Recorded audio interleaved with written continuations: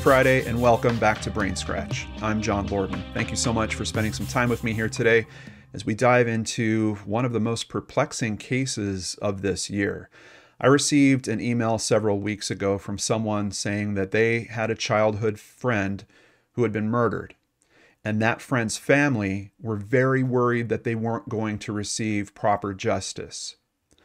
Now, we're talking about a case where we have an eyewitness, we've got a confession. I mean, quite honestly, we have all the pieces that this should roll right through the court system, but we're now talking about this five years later, and that still hasn't happened yet. What's going on with this case? Let's learn much more about it by starting with the sources and learning where this takes place.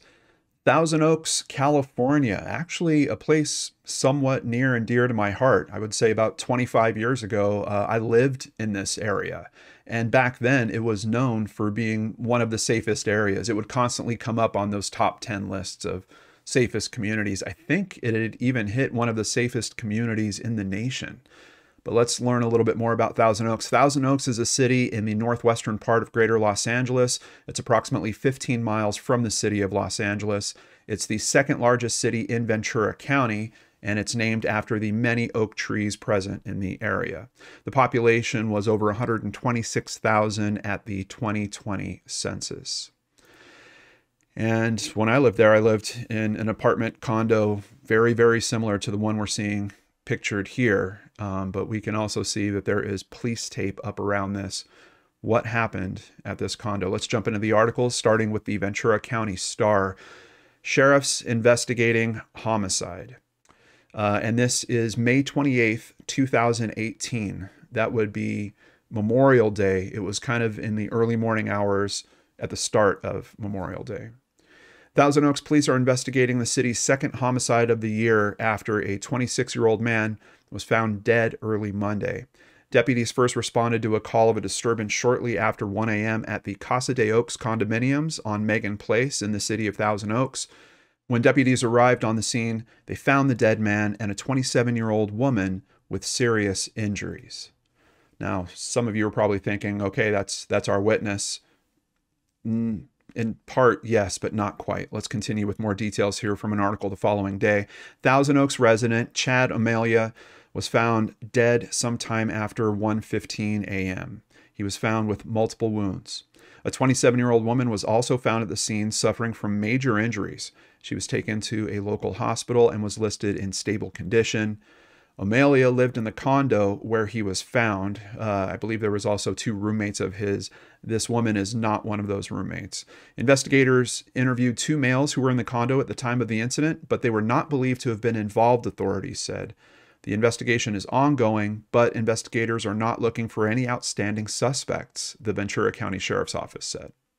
An examination of O'Melia to determine a cause and manner of death was being conducted by the Ventura County Medical Examiner's Office. So I've told you we've got a witness, basically an eyewitness in this case. It's very interesting that early on the sheriff's department is putting out we're not looking for a suspect. Like, yes, this is a murder. Yes, it seems like two people have been injured, but we're not looking for a suspect.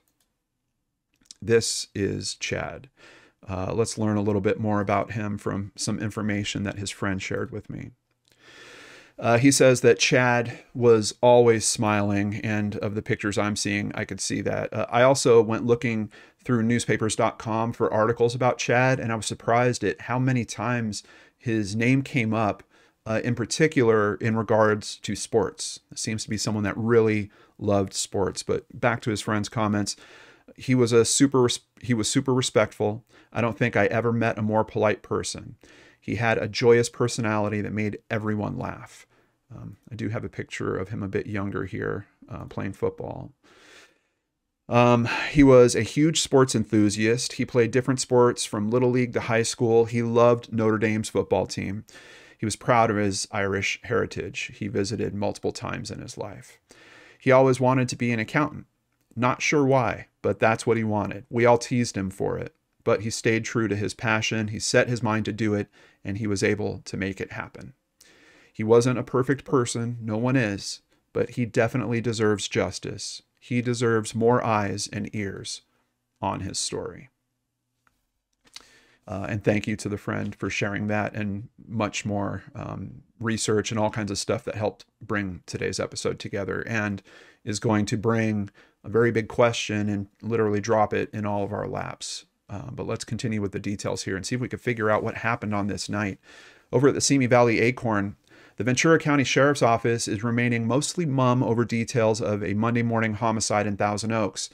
After releasing the name of the deceased, 26 year old Chad O'Melia, the department, which is still investigating the homicide, declined to give the nature of the man's death or name a suspect. A sheriff's spokesperson said the department is confident there is no killer on the prowl, however. This is not one of those where we have someone dangerous on the loose, Sheriff's Department spokesperson Garo Kuredjian said. Let's continue over at scvnews.com. Ventura County Sheriff's deputies responded to reports of a disturbance on Megan Place in Thousand Oaks Monday morning at about 1:15 a.m., according to a statement from Captain Garo Kuredjian. So, um, well, I guess you could be a captain and also be the spokesperson. We don't have any additional information at this point that we're releasing, Kuredjian told SCV News. Our major crimes investigators are going over the interviews and following up on the evidence they obtained at the scene. It's considered a very active investigation. I think it's reasonable to question just, okay, like, you know, these articles are coming out a few days after the occurrence. If there's no one on the loose, why isn't there an arrest? Like, I think it's it makes sense that the public's going to be wondering about that condition. Um, but they're keeping it close to the vest at this point. Eyewitnesses told the Thousand Oaks Acorn that they saw a bloody female being rolled away from the apartment after the incident. O'Melia was a graduate of uh, Cal State Chico um, and was pursuing a career in accounting, which we mentioned. He was an accountant at Disabantino CPA in Camarillo at the time of his death he had joined the firm in September of 2017, just after receiving his bachelor's degree in accounting from California State University, Chico. He was pursuing his certification as a public accountant and was an avid fan of boxing. While attending CSU Chico from May 2014 to May 2015, O'Melia was a member of the Sigma Nu International Fraternity and he served as its treasurer. Um, there's a bunch more detail about him basically pulling them out of debt. It's kind of one of his early credits, I think, that he used to help get his jobs in terms of accounting. Uh, he was also an act. He was active in his community as a frat member. He volunteered at the Chico Wildlife Sanctuary, uh, walks for breast cancer, picking up trash, and more. Um, definitely, just seems like a guy that was a good citizen, and also being kind of smart about his early life and really getting some accolades there that people would notice and would helpfully help open some doors for him. And it, it seemed to be working. I mean, this guy is hitting the track that he wants in his life. And then for some reason, this happens. So I'm sure some of you probably figured it out already, but the woman that was removed, um, who it looks like had been attacked also, is actually the suspect in this case. Woman arrested on suspicion of murdering Chad O'Melia. Bryn P. Spejcher, 27 years old, a Thousand Oaks resident and audiologist, was arrested at a local hospital for the May 28th stabbing death of O'Melia. O'Melia died of multiple stab wounds sustained during an altercation in the early morning hours of Memorial Day uh, inside his apartment. Spejcher and O'Melia had been involved in a dating relationship. Now, there's several different articles, and I just didn't want to step you guys through all the variations in the story here. There was early articles where some of Bryn's family was saying that this was very casual. I don't even think it was romantic. Um, there was one article that even suggested maybe he had tried to press things and she was defending herself, and that's what happened in this instance. I don't think that's the case. That's why I'm not diving into that stuff too much. Um, but it seems pretty clear that they are actually in a dating relationship. Bryn's going to admit to that um, very clearly in one way. Um, but something interesting to point out, they had only really been seeing each other for a matter of weeks, like maybe a month, somewhere around there. Very, very young, budding relationship. So, what exactly happened? How did things go from that to one of them being dead and the other one having wounds all over her. I mean, you can see in this picture, in the booking photo, she still has very severe wounds all, all over her. Uh, had been hospitalized since the homicide to receive treatment for self inflicted stab wounds. She was released from the hospital and booked into the pretrial detention facility on murder charges. Her bail set at $500,000. Once again, it's noting that she's an audiologist. She was working at the House Children's Hearing Center at UCLA. From what I understand, I believe her license to practice has been suspended at this point. She earned her Doctor of Audiology degree from the St. Louis's Washington University School of Medicine in 2017. Both these people just highly intelligent, um, both with impressive degrees. It, it's just this story. How does this happen? How does this happen? Uh, for people that don't know, an audiologist is a healthcare professional who identifies, assesses, and manages disorders of hearing, balance, and other neural systems. And Bryn would actually have a bit of a passion for that for a very personal reason. In a video posted on the school's Facebook page, Spejcher, who was diagnosed with hearing loss at age three, talks about her childhood. It was difficult to try and be normal because I didn't want to be the only one with hearing loss, she said about her youth. It was really hard for me to advocate for myself and be open about having hearing loss. I was very involved in sports and music and trying to get good grades in classes. I wanted to blend in with everybody else a member of the American Academy of Audiology and the American Speech Language Hearing Association. Her specialties include adult and pediatric diagnostics, auditory brainstem response testing, hearing aids, and cochlear implants. So, can we piece together what happened in the apartment that night? Let's step through several articles here, and I've tried to stitch together at least as much of the narrative as became public through the press on this over at ABC7.com. O'Melia was stabbed multiple times, according to police, during an altercation between the pair.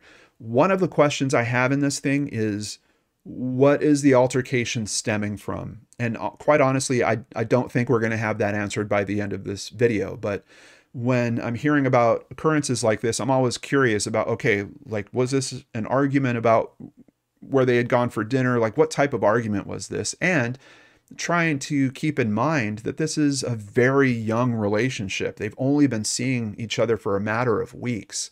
Like, this isn't going to be some argument about, hey, you didn't pay the mortgage on time or something like that. Uh, and even, I'm not suggesting that that level of argument is worth any mode of violence, but I'm just saying the types of conversations and arguments you're going to have very early on in a relationship, they're going to be quite a bit different. And I just don't know what would be have that much fire to actually bring an outcome like this.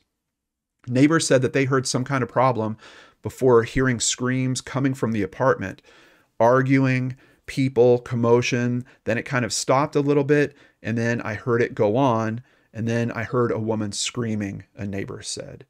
Now, we don't have a solid time frame here, but that description, I think, tells us that this was ongoing for a little bit. And I don't know, that could be a matter of minutes. It could be half an hour. We, we really have no sense of, of that in terms of timing. But with how they're describing there's commotion, then it stops, then it goes on, and then there's a woman screaming. I would, in my mind, that's suggesting at least minutes.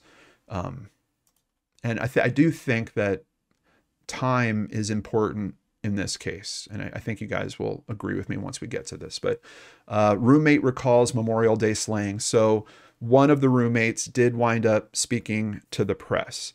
Uh, his name is Vinny Oliveira. And let's see what he had to say about May 28th. According to Oliveira, Spejcher and O'Melia were hanging out at Casa de Oaks the night of May 28th, Memorial Day, when Oliveira arrived home from work around 10:30 p.m.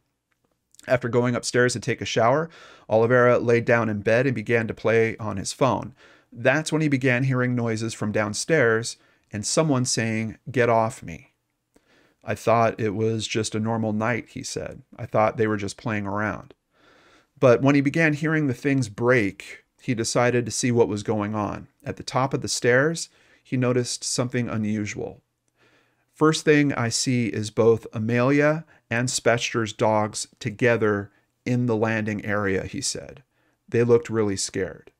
Uh, from what I understand, O'Melia and Spejcher actually met each other at a dog park. They both have dogs that they love very much. Um, some people might question that with one of the details that's coming up. But when he proceeded down the stairs, Oliveira saw that furniture was toppled. The couch was flipped over and covered with blood, and O'Melia was severely wounded, he said. There was a hole where his heart is, with blood everywhere. He looked at me and said, Vinny, Vinny, please help me. She stabbed me. Meanwhile, Spejcher, Oliveira recalled, looked at him with what he described as a blank stare. She was still holding the knife, he said. I said, Bryn, what the are you doing? Bryn, what's going on? Oliveira said that he ran back to his room and grabbed his cell phone and called 911 as he did, which he ran back downstairs. In my head, the only chance I had at saving Chad was to call the police, he said. I feared for his life and my life too. By the time Oliveira ran past the couple to an open door, he said that O'Melia had fallen to the ground, but Spejcher was still stabbing him. So we literally have, I mean, if the rest already wasn't a strong enough eyewitness, he knows they're downstairs. He hears this scuffle. He goes down. He sees his friend. His friend says, I've been stabbed. She's holding the knife. On top of all that, he actually witnesses her go back to attack. And once again, I just want to keep this context in mind of timing so there's there's time that's passing during this. There was there was an attack. He goes down. I would assume she had stopped the attack for a moment because she looks at him. He goes back up, grabs his phone. The attack resumes. Uh, after that, he doesn't know what happened inside the condo. Though after police arrived minutes later, he did hear their stun guns go off a few times. So now we have law enforcement show up and we get some of their perspective from Captain Kuredjian. When she saw the deputies, she turned the knife on herself. The sheriff's department spokesperson said that Spejcher was not immediately cooperative, and deputies had to use non lethal force to disarm her and take her into custody. A witness at the scene said he heard police use a taser. Once she's released from the hospital, she'll be booked into the pretrial detention facility with her bail set at 500,000, police said. Kuredjian said two of O'Melia's roommates witnessed what the captain described as a chaotic and violent event. So it sounds like the other roommate, uh, though I haven't seen him speak anywhere in press, uh, also is a witness to this in some way. The men have been cooperative with police. Fortunately, any type of murder in our areas is very unusual, Kuredjian said. The circumstances and violence associated with this is what makes it stick out the most. Um, in several of these articles, they a lot of them mention the other murder that happened that year or other murders that happened in previous years. And in most of them, they're uh, kind of domestic violence related issues, um, which this seems to kind of fit in in terms of a categorization as well. Uh, whether drugs or alcohol played a role in the alleged murder is something investigators are looking at very closely, the captain said. So we get a pretty clear indicator there of what they're thinking might have been involved. But in terms of the restraint that Bryn actually put up, Thousand Oaks murder suspect Bryn Spejcher suffered a broken arm and wrist as a result of a blow from a sheriff deputy's baton the night of her arrest, the Acorn has learned. So they they try to tase her. Um, it apparently wasn't enough, and they couldn't disarm her, and they had to use a baton, and they wound up breaking her wrist. Police say the woman refused to drop the knife she was holding even after a hit from a 50,000 volt laser uh, taser. Now, I'm also hearing that there might have been actually two tasers, but we'll we'll stick with what they're saying here. Um, and I don't know, you know, kids of the 80s, we would hear about PCP very frequently. Like PCP was this drug that if you took, like you could go nuts and you could think you were invincible and you could lift up a car, jump off a building, break all your bones, not realize it, keep running. Um, I haven't heard of a story like this in recent years in this way. And especially for this type of community with people this age and of this level of education, like there's all kinds of pieces to this. Like this is very, very unique on many, many fronts. Um, and scary in in all of those ways. But let's go ahead and continue with the big turn in this case. Boyfriend's TO killing blamed on bong smoke. So I was talking about PCP. Um, what we're talking about in this case seems to be marijuana, which is legal in California at this point. Um, I know in a lot of personal conversations I've had with people that use pot, the thought that someone would be violent off of being stoned is uh, it's laughed at frequently. It's seen as kind of ridiculous. Uh, I have looked into it a lot. I've got a couple sources we'll touch on here, and there does seem to be some newer research now that we're finally kind of able to look at this thing on the up and up because, you know, back when it was illegal, there wasn't exactly the most resources being dedicated to studies and things like that. There are some big questions coming up about how THC can affect some people. Um, is that really what's going on in this case? Let's continue. A Thousand Oaks woman smoked from a bong and started hearing voices before she allegedly stabbed the man she had been dating, court testimony revealed Tuesday.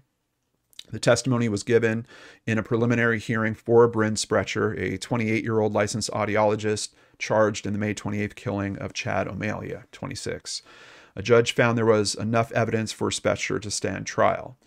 She has pleaded not guilty to the murder of O'Melia and denied a special allegation that she used a knife in the killing. Some of the early reports on these charges also mention possibly a charge about her hurting her dog. Um, it appears that she also attacked her dog when she was in this rage. And I did see some commenters, that, neighbors that were saying that they saw the dog being removed by police actually with a blanket. From what I understand, the dog is fine now, but um, and I don't know if that charge still holds. I saw some mentions of it kind of in the early articles and in the later articles. I'm not seeing uh, mentions of that specific charge anymore, but let's learn more through this preliminary hearing about the details about the traumatic injuries that Chad went through. Um, and just try to keep in mind that we've got we've got a family trying to deal with this as well um, and feeling like they deserve justice and it seems to me they certainly deserve justice. Wait until you hear these guys' details. But here's some details. At the preliminary hearing, they had forensic scientists, the sheriff's deputies, and detectives testify about their efforts in the case. So we're going to get a, a, much better understanding here. Ventura County Assistant Chief Medical Examiner Dr. Othan Menya conducted the autopsy on O'Melia. He suffered dozens of stab wounds and incised wounds, which aren't as deep, and all were most likely from two different knives, Menya testified. One of the knives was serrated, he said. There were 18 wounds on O'Melia's head, including two stab wounds to the back of the head and other incised wounds on his face. Also, 27 incised wounds were found on his neck. 27 wounds on his neck alone. Four of them were stab wounds that damaged his trachea, jugular vein, and his carotid artery. Menya said he found 21 incised wounds and 13 stab wounds to the torso, shoulders, chest, and back. Some of the wounds involved the victim's lungs and heart. The heart was perforated twice, he said. O'Melia suffered a stab wound to his right knee and injuries to his arms, including multiple defensive wounds to his hands. 108 wounds. And two weapons, two different knives being used. We have some interaction with the roommates. Uh, I'm just, this, to think of the nightmare that Chad is going through during this period of time. Like, how long is this attack going on? For 108 wounds, are we talking a matter of minutes? Even if it was all focused into into one event. What how how many could you do? Possibly two of those wounds per second. We're talking a minute and a half, two minutes, three minutes. How long did this go on? And I'm just wondering where's where's the possibility for someone to snap out of whatever they're in or I mean what type of break in reality is this? From bong smoke? Like, if we're just talking THC, was there something else in the pipe? We're going to hear some more details from Bryn's point of view on this. But 108 stab wounds. I think you can understand why Chad's family and friends are looking for justice as, as strongly as they are. Is there, you know, if this was a self defense, I'm pretty sure the phrasing that we've been hearing around Bryn's wounds law enforcement is saying those were self-inflicted and law enforcement seemed to have been there when those wounds happened. So it seems like we also have a witness from that. So this doesn't seem to be a situation where she was having to defend herself. But let's let's see what she did say. Let's get to the sergeant's testimony. Sergeant stephen jenkins one of the detectives who interviewed Spejcher about the incident said that he spoke with her a few times while she was at los robles regional medical center she was not under arrest or in police custody at that time, and she decided to speak with the detectives. Uh, she was arrested at the hospital on May 31st. She was read her rights, but even with that, she continued the interview. So it seems like she's being pretty open about her perspective on this. What does she say happened? Uh, Spejcher's defense attorney asked whether the sergeant knew if the defendant was on pain medication. The sergeant said that Spejcher did not show symptoms of being impaired by pain medication. I'm sure she was on pain medication. She's got a broken wrist. She's got the numerous wounds we've seen to her face and neck. Um, you could probably assume that she was going to be on pain medication, but does, does that mean that the detective shouldn't interview her? Um, I, I, I, don't know. The sergeant said that Spejcher told him that she had met O'Melia at a dog park in late April or early May. Once again, a matter of weeks here. They had hung out several times since then, and they had sex three or four times. So, very clearly, they were in an intimate relationship here. Spejcher hung out with her friends on May 27th and later took her Siberian Husky named Araya to O'Melia's condominium to hang out again. She got there between 10 and 10:30 p.m. Now, I know we're talking about people in their their mid 20s here, but you know, showing up at 10 to 10:30 at night, that once again suggests to me that this is um, this is probably a dating relationship, and I, I just want to get that out there because there was there was some other press that seemed to be kicking around that you know they they weren't really in that type of relationship. It seems like it to me, and we have her telling the detective here, yes, we were intimate with each other. At one point, O'Melia went out to the porch to smoke marijuana out of a bong, and Spejcher went with him. I think it's important that it's phrased that way. He's going out there because he wants to have a couple hits. She decides, I believe there's probably a decision. I don't think he dragged her out there. Uh, on top of that, the sergeant testifies she wanted to try some. So we have her making these decisions. Spejcher allegedly told the sergeant she didn't feel the effects of the marijuana, and she told O'Melia about that. Now, I'm seeing different phrasing around some of this. I saw one article, I, am not sure, I can't recall the source off the top of my head, but they almost made it seem like there was some type of disagreement about this. Like she was getting upset at the fact that he was able to feel high and she wasn't. Now, that's not what this particular article is saying, but I've, I've read that in another place. So I just kind of want to throw that out there because, quite honestly, I'm just curious about where does this turn into a disagreement? What is the topic that this, you know, escalates things to, to this level. O'Melia lit the bong and he filled it with white smoke, and Spejcher inhaled, according to the testimony. She didn't feel well after that, and she went to the bathroom, the sergeant testified. She said her vision was blurry. She couldn't breathe and felt like she was going to vomit, the sergeant testified. She made her way back to the couch, and O'Melia gave her bottles of water she told him to stay with her and stay awake because she believed she was dying, the sergeant testified. She felt that from the drugs he gave her, she died.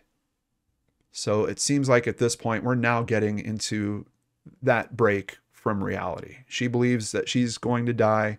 Maybe she's upset because he decides he's going to fall asleep or he's done for the night. I don't know.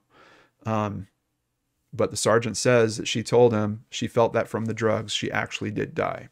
She had a vision that she was dead, and voices were telling her to keep fighting and she'd come out of it. At one point, she threw a chair in between her and O'Melia, but never mentioned anything about him attacking her, the sergeant said. In the police interview, she described throwing knives and having one in her hand, according to the testimony. The voices also told her to start hurting herself, the sergeant testified. On cross examination, Spejcher's attorney asked the sergeant if she ever talked about why she threw the chair or why she wanted to keep O'Melia away from her. The sergeant testified that she described a lot of anger and wanting to keep the victim away. I wish we had more description on on what that anger is because I, I think their line of questioning is important. They're trying to kind of get to, okay, yes, there was this attack that none of us can understand, but there's these other steps kind of leading up to it, and we're not quite sure we understand those as well. Like, why are you going to throw this chair uh, at him? And especially if they ask, did he attack you at any, any point? And she says, no. Uh, Spejcher's attorney also asked if his client talked about whether she knew during the alleged murder what she was doing was wrong. The sergeant said he could not clarify whether she knew in the moment that it was wrong or if it is what she said later when speaking with authorities. Oh. So I couldn't look into this case without thinking of Reefer Madness. This is an old film. Um, it, it originally came out, it was 1936, an exploitation film about drugs revolving around the melodramatic events that ensue when high school students are lured by pushers to try marijuana. Upon trying it, they become addicted, eventually leading them to become involved in various crimes, such as a hit and run accident, manslaughter, murder, um, conspiracy to murder, and attempted rape. All while this is happening, they suffer hallucinations, descending into insanity. It was originally called Tell Your Children. It was intended to be a morality tale, something that parents were supposed to show to their kids to get them to not specifically smoke marijuana. In the 1970s, this film was rediscovered and it gained new life as an unintentional satire among advocates of cannabis policy reform. Critics have called it one of the worst films ever made. I bring it up because my understanding, I have not watched this movie, but my understanding about why it was so laughable was once again that kind of common understanding that it seems like many of us have that you don't smoke weed and then act like you've just done a bunch of PCP. And something, you know, that we had to watch out for as children of the 80s with the DARE programs and all that stuff that were constantly being launched at us in schools was uh, you can't just trust smoking weed because you might smoke weed that does have PCP in it. Um, so I do think it's important to keep that in mind with this. There seems to be the possibility maybe there was something else. Maybe there was something else in the pipe. Are we going to find that in the tests? We'll get to that. But it's also got me wondering about the mentality of reefer madness. I mean, this thing was only made because there was a belief structure, and it's just making me think if it is true, if this is Bryn's first time trying this, does she think that that is a reasonable uh, not an alibi but a reasonable defense in some way that it, it just she got so thwacked by having her first few hits of marijuana that she broke from reality is reefer madness essentially going to be used as a legal defense in this case and of course that question um, is there something else at play? Was there some other drug that maybe was part of this? Now, let's dive in just a little bit. Um, I just want to touch on the aspect of psychosis and marijuana. Uh, from what I can see, I'm finding a lot of studies that are kind of looking into this, especially in recent years. And there does seem to be a correlation of people that might who might be prone for types of psychosis or people that have previous disorders, that those might be exacerbated by marijuana use. Uh, let's learn a little bit more here at the Child Mind Institute. A lot of people think smoking pot is not very dangerous for teenagers, but research shows that marijuana may be connected to mental health problems, especially disorders that involve psychosis. Starting young, smoking often, and smoking over a long period of time are big risk factors. And if the teen already has a mental health disorder, especially schizophrenia, smoking pot might make it worse.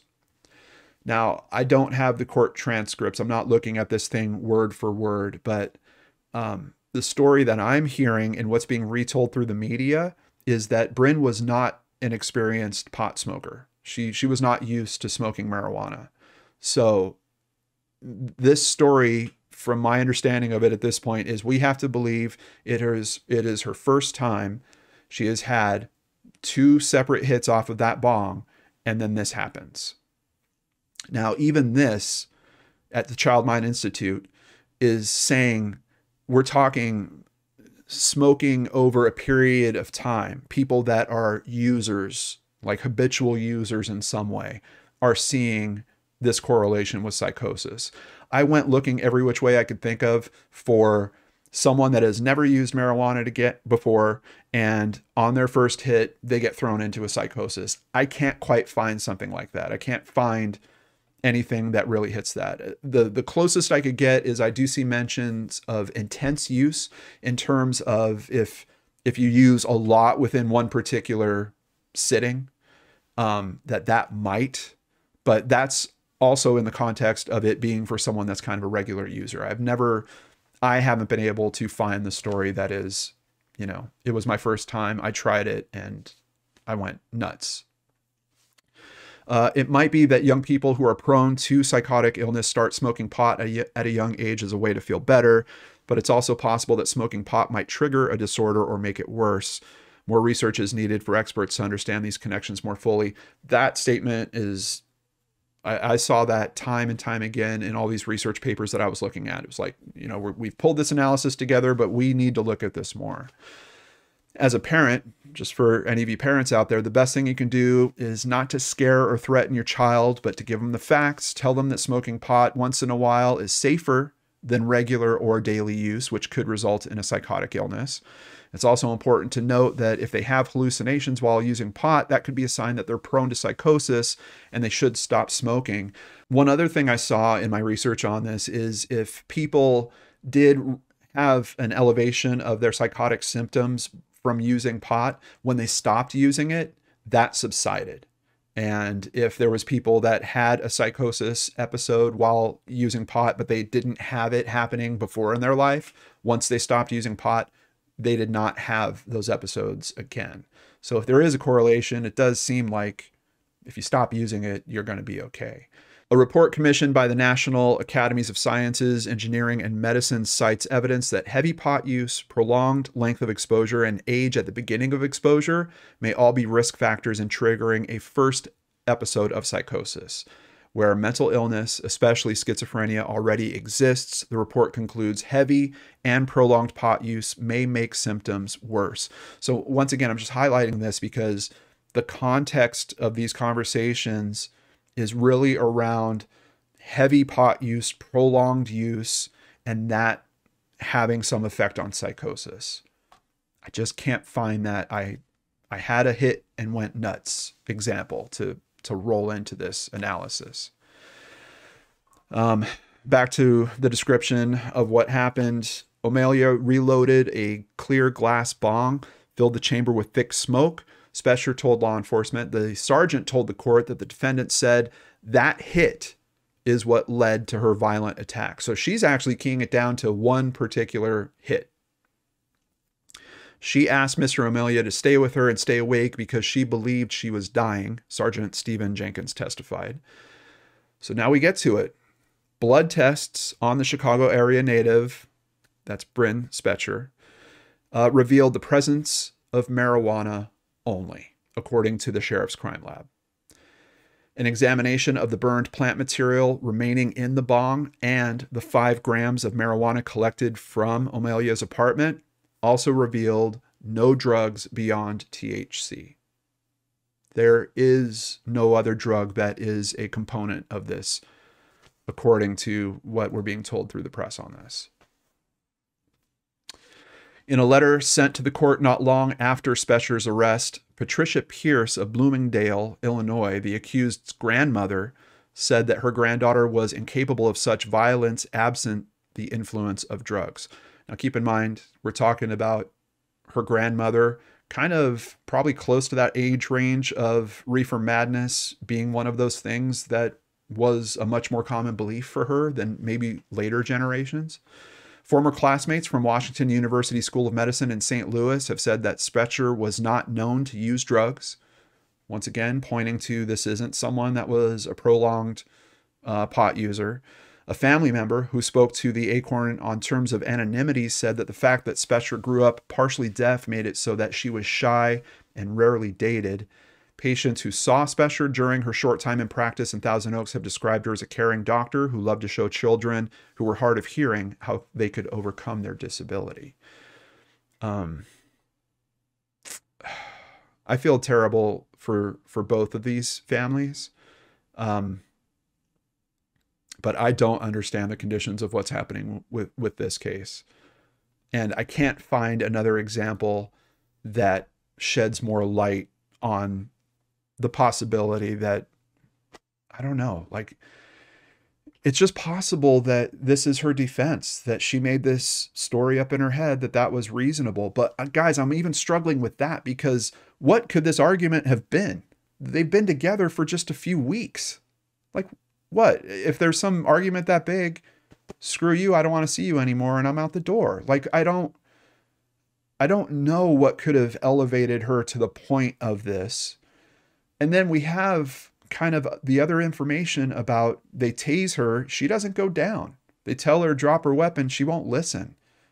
It does seem that there was some form of psychosis going on here. Now, is that really caused from to in her story? She's saying it's that one specific hit that did it. I just I've never seen anything like this before. Victim's father addresses court to express frustration with delays. Guys, I can't tell you how many different articles I had them queued up, and we're already, I know this episode's running long, so I took them back out. But it was just extension after extension after extension. And yes, there was some things that happened. You know, this predates COVID. COVID happened. Um, then, you know, there was things like people had to wear masks in these court things. You have someone that's that's hard of hearing that is the the defendant in this. Um, so there was certainly some some real issues that came into play that were already going to bring uh, the trial to a halt in some ways. But on top of that, it seems like basically Bryn makes bail.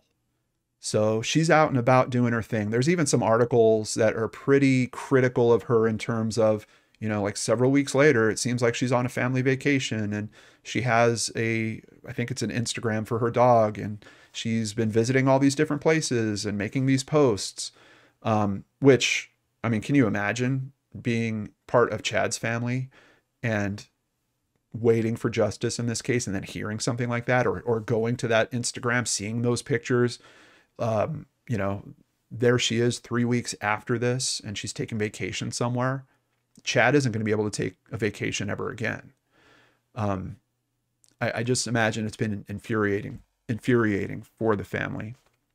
And really, Chad's family has been very tight lipped in terms of media. They really haven't been talking to the media much at all. His dad started talking just a little bit around this, around the delays. Um, and his dad actually makes a really interesting point about Bryn had public defenders to start with and then basically fires them. And then her, I don't know if her family's paying for it, but somehow she she has counsel hired for her that comes on and starts working. Um, Chad's family doesn't get that choice. Like they're stuck with the public the public prosecutors one way or the other. There's nothing they can do to like, hey, we want our lawyers to be working on this. This this is a criminal case. Um, it's a really interesting thing to keep in mind as we get into some of the challenges with what's happened here in the courtroom. But let's get to this article from 2021. This Christmas will be the fourth that the O'Melia family has spent without their son and brother, a grieving father told a Ventura County judge last week. If that wasn't bad enough, um, Chad's mother also died somewhere around 18 months after his death, and his father is convinced it's from a broken heart. It's just from her not being able to to handle what happened around this.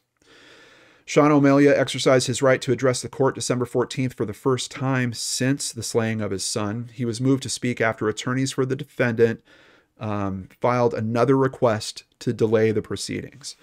O'Melia asked the judge to bring the three and a half year old case to trial as soon as possible, the lead prosecutor said. Now, as some delays do happen, they actually kind of happen in both directions. The prosecution also brought up something, and that kind of caused a delay in itself. Let's learn about that. The county wants a doctor to administer a MMPI2 psychological test, better known as the Minnesota Multiphasic Personality Inventory. It involves over 560 true or false questions and is the most widely used and researched clinical assessment tool to help diagnose mental health disorders. The defense is trying to limit our expert, said prosecutor Audrey Nafziger. Uh, attorneys couldn't be reached for comment. Regardless of the judge's ruling, the state expects their witness to examine Spejcher sometime between December and January, leaving February open as a possible trial start date. That, that certainly did not happen. The victim's father, Sean O'Melia, has addressed the court twice over the past year to express his frustration with the pace of the proceedings. But now we have his side, the prosecutors, saying, hey, we want this Minnesota multiphasic personality inventory run. Um, I don't know exactly what they were going for that in that, unless they were trying to identify that there was some type of psychological disorder that she was already dealing with. Um, was there some precedent for her to understand that? Would that have helped their prosecution in some way? Like if she knew, uh, you know, I yes, I deal with psychosis of some kind. I probably shouldn't try hitting that bong, or I probably shouldn't try that level of narcotics. I, I, I just I don't know exactly where the prosecutors were going with this. The defense didn't want it either. So it's kind of weird, especially with how it all plays out. Let's get to that next step here. So they do have their hearing. At the December 8th hearing, Spejcher's attorney, Robert Schwartz, argued against the need for psychological testing, saying his client has no mental illness and that her actions on that day were induced by drugs. So they are specifically pointing to the drugs, but not only pointing to the drugs. And another thing that's kind of a slap towards the victim and his family, and something I don't really appreciate the drugs that were provided by the victim. And that's what resulted in transient psychosis. So, a psychosis that just came and went, apparently. Um, um, it's tough for me to think of that situation, to think of someone saying, Hey, I want to try that. You're going out and, you know, smoking, having a couple hits off a bong. I'd like to try that. And then having that attorney blame that person. Well, that person provided it, so they're responsible for what happened. It's are they? I don't know because I think a lot more bars would be closed off of people's DUIs and injuries that happened to others resulting to that. I'm just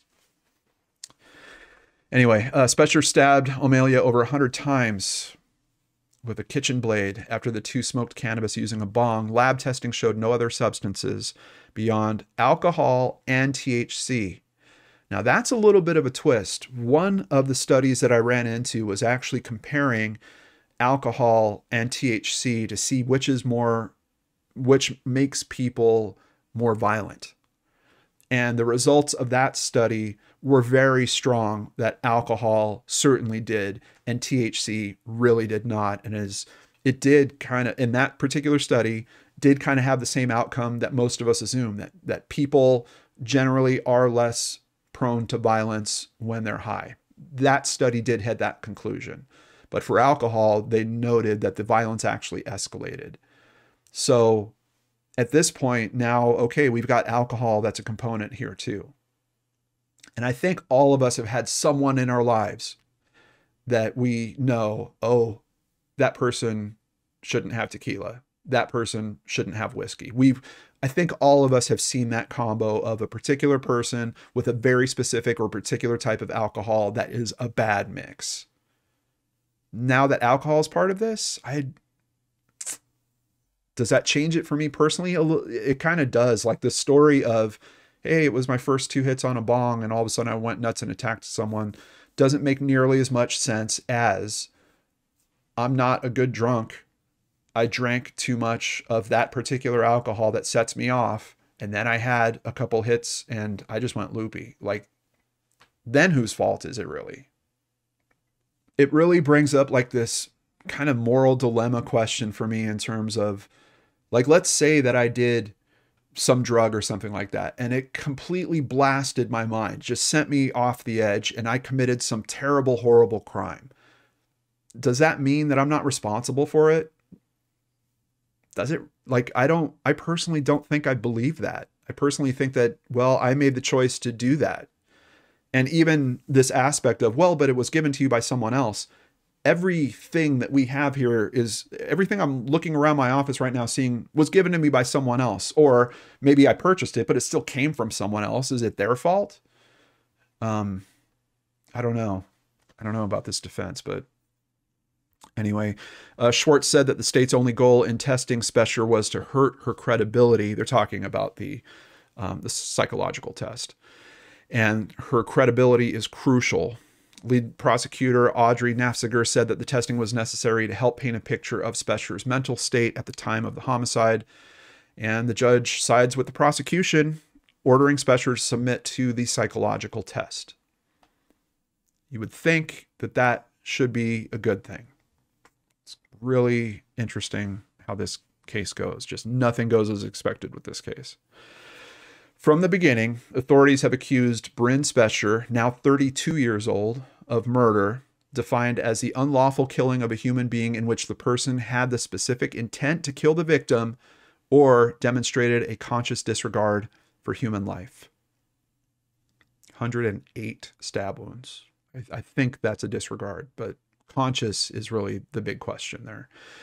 Since that time, there's been a change of guard both at the helm of the district attorney's office and in the prosecution of the case. The original charges were filed under the county's previous district attorney, Greg Totten, who left office in 2021.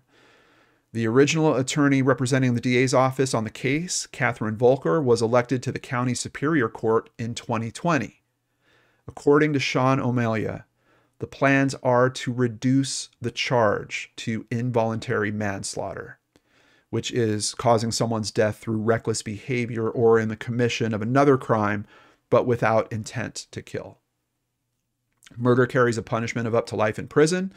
The base sentence for involuntary manslaughter under federal sentencing guidelines is 10 to 16 months in prison.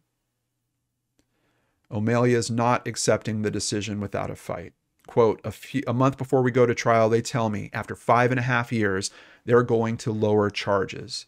The family basically believes Chad is not getting justice. 10 to 16 months. Why did that change happen? because of something the prosecutors asked for. The change was prompted by the forensic psychologist's review on behalf of prosecutors. That review found that the woman became acutely psychotic after consuming marijuana, then stabbed the victim, herself, and her dog, according to the court filings. On Wednesday, the Ventura County District Attorney filed an amended charging document alleging Bryn Spejcher, now 32, committed involuntary manslaughter with the use of a knife. Prosecutors also filed several special allegations, including the crime involved great violence. The review, which included examination of body worn camera video from the scene, noted Spejcher was described as appearing possessed, which is consistent with acute psychosis. The psychologist, Chris Mahandy, noted that Spejcher's stabbing of her own beloved dog without any evidence of animal cruelty tendencies is highly inconsistent with her love of dogs and underscores her level of impairment, according to the filing.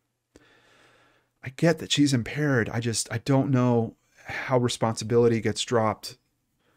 Like if if I was held down and someone injected me with something and then I went nuts, there I feel like maybe there's some argument for that I was not responsible for that. Cannabis induced psychotic disorder can develop shortly after a high dose and usually involves persecutory delusions, among other symptoms, the psychologist noted. I, I've looked every which way I can and I can't find something that says off of one dose or off of a single usage. I, everything that I'm seeing is talking about cannabis induced psychotic disorder in terms of heavy usage, prolonged periods of time, people with pre existing conditions. Like it's, I, I don't know. I, I just, I can't find, if you guys find any examples of it, please include it uh, in the comments down below because I just can't find the example I'm looking for on that. Expert witnesses for the defense made similar findings, the prosecution's document notes. Uh, so in Ventura County Superior Court, Spejcher pleaded not guilty to the involuntary manslaughter charge and denied the special allegations. A jury trial has been scheduled. I'm also curious about that. It's it's now down to her being in jail for maybe a year, and she's still pleading not guilty, despite the fact that she basically admitted to it, and we've got witnesses.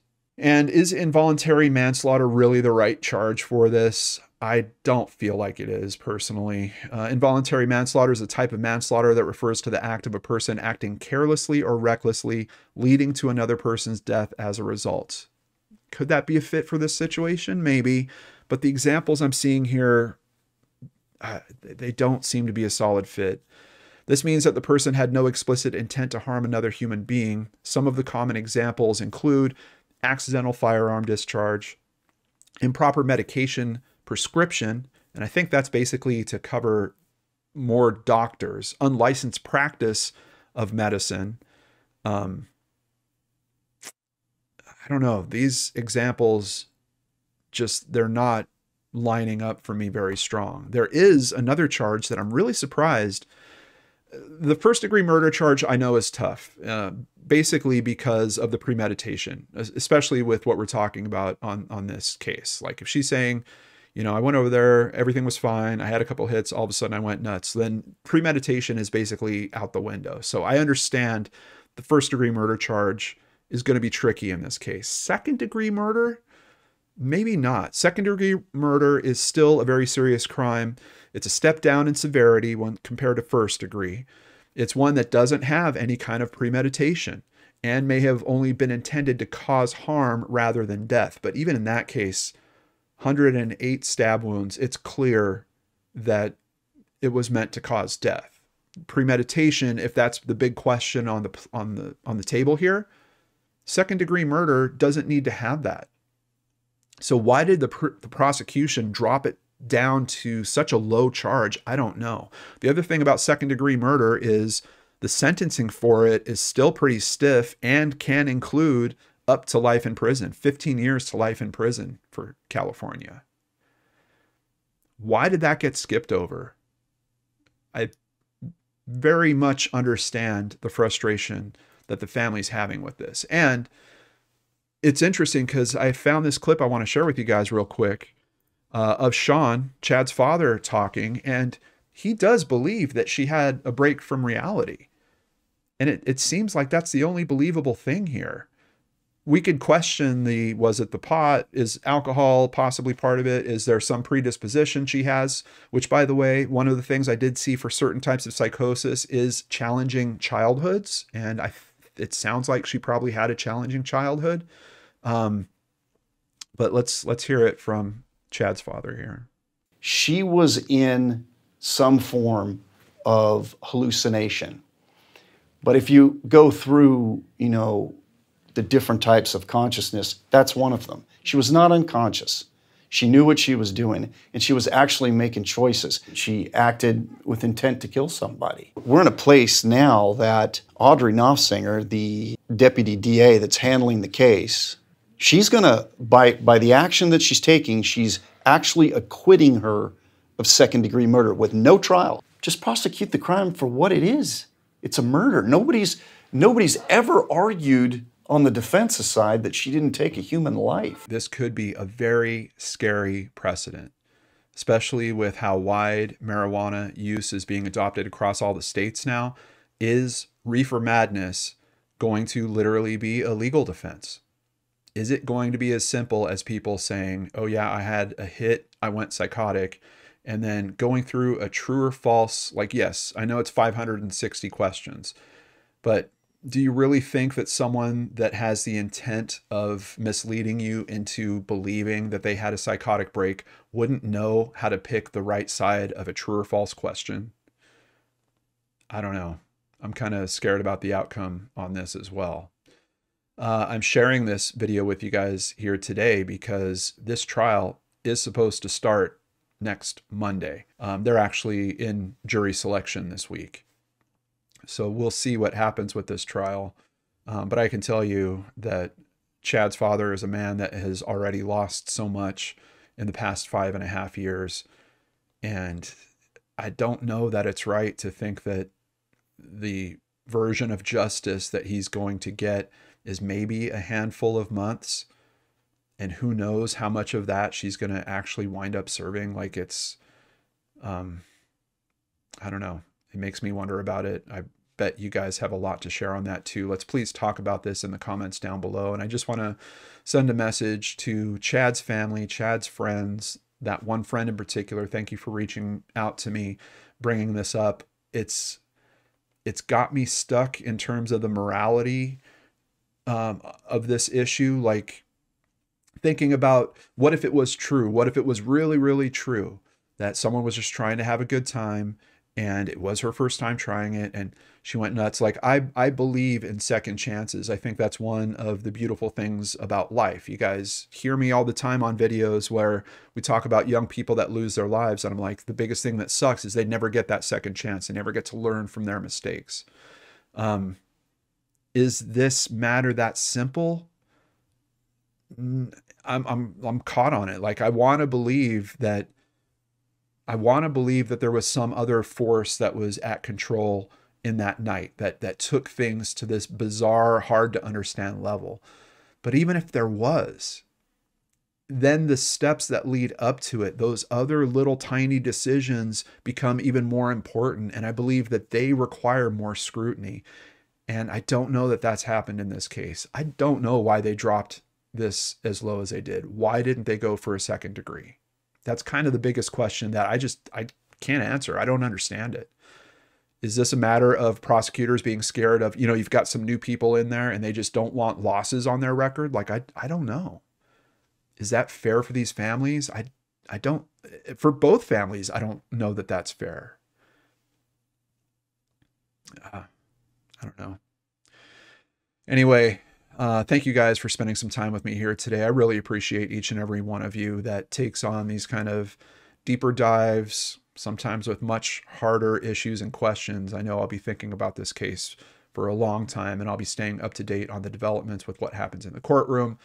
I will uh, no doubt have an update episode for you guys at the end of that trial and let you know how this all played out. So Take care, have a nice weekend, and I will see you again here soon on the LordanArts channel.